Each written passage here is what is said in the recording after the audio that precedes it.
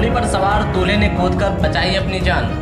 घोड़ी मौके पर हुई करंट, लगने से मौत। घर से घोड़ी पर सवार दूल्हे ने जैसे ही गाँव घूमते हुए मस्जिद सलामी करने पहुँचा कि घोड़ी का पैर सड़क के किनारे गड्ढे में भरा पानी में पड़ गया और वहीं थराने लगी।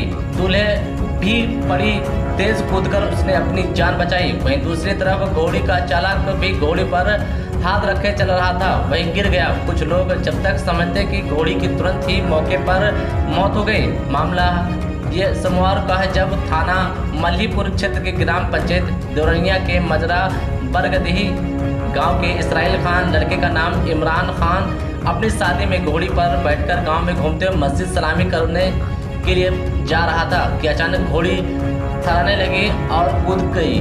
वहीं घोड़ी चालक भी गिर गया और किसी तरह तुरंत उठाकर खड़ा हुआ और दूर रोने लगा। जब तक लोग कुछ कर पाते, तब तक घोड़ी मर गई थी। थाना मल्लीपुर क्षेत्र के घोड़ी मालिक कुद्दूस निवासी बनकटी ने बताया कि मस्जिद के सामने लगे विद्युत पोल पर एलटी लाइन के तार कट होने की विद्युत पोल से ज़मीन पर करंट उतर आया नीचे पानी गड्ढे में था, घोड़ी का पैर उसमें पड़ गया और कर्ण की चपेट में आ गए और मौके पर ही मौत हो गई। अंत में दूल्हा बुलेरो से अपने बरगदे गाँव के मनसापुरवा गाँव अपने बरातियों के रोते बिलखते और डरे हुए खौफ में चले गए। जनपद श्रावस्ती से भुजो अहमद की रिपोर्ट।